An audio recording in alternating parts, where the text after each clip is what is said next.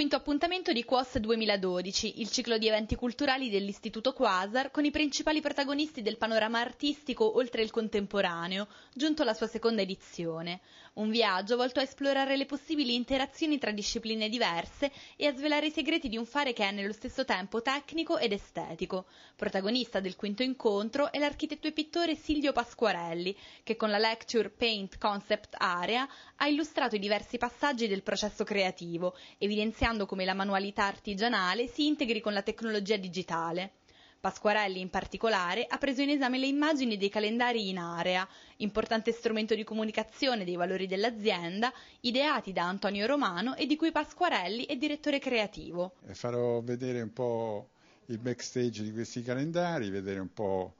Uh, dare delle immagini della manualità che sta dietro a queste immagini, anche se sono riprese in modo elettronico e niente, farò un excursus di, degli esempi più interessanti e eh, avendo davanti delle persone che poi faranno questo lavoro darò delle indicazioni diciamo tecniche su quello che può essere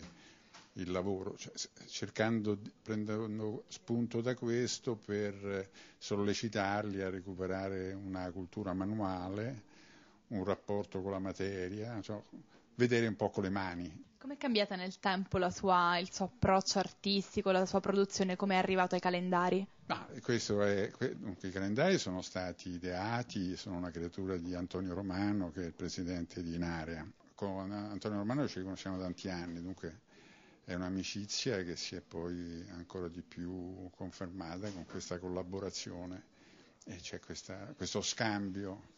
tra manager creativo, tra pixel e pennarello, insomma cerchiamo di,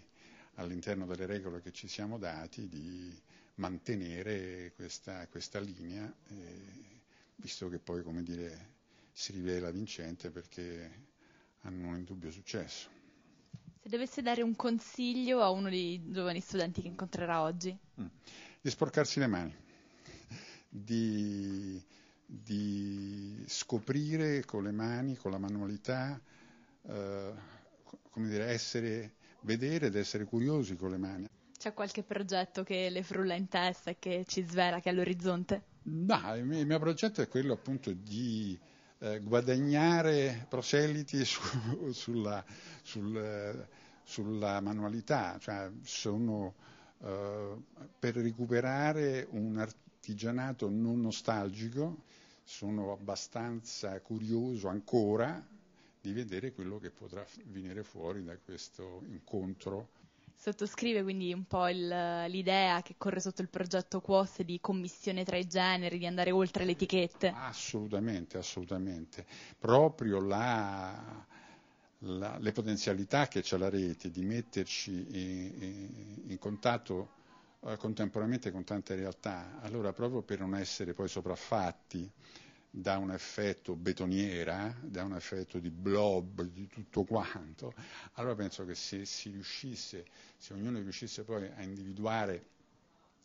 degli ambiti di ricerca, può poi farsi ricco di queste potenzialità, ma poi integrarle con, dire, avendo poi lui metabolizzato tutta questa informazione, perché poi si dicono tante cose, più cose si dicono, meno cose si ascoltano. Dunque è, un, è una questione proprio eh, alchemica, se vuole, proprio di eh, rivedere le pozioni,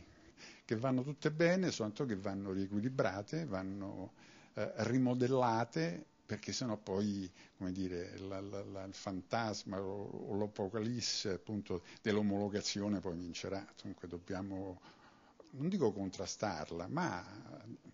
affrontarla in modo concreto con altri strumenti che vanno a integrare nuovi, questa tecnologia che è stupenda, che io uso, ma eh, convive con i miei colori, i miei pennarelli, i miei fili di ferro, eh, chiodi, martelli e quant'altro.